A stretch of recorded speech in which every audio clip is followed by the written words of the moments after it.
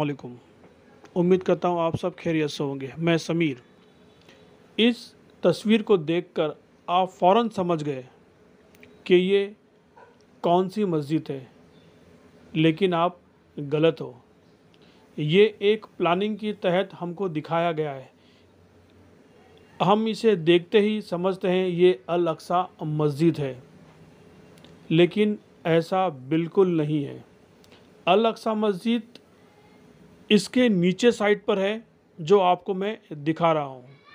देखिए ये है वो अल अक्सा मस्जिद, जिसे दुनिया ने हमसे छुपा रखा है। ये यहूदों की, यहूदी के वॉल से लगकर बिल्कुल मस्जिद है, उसके ऊपर साइड पर है। लेकिन आज तक हम सुनहरी गुंबद को देखकर अल अक्सा मस्जिद समझते हैं जो बिल्कुल गलत है।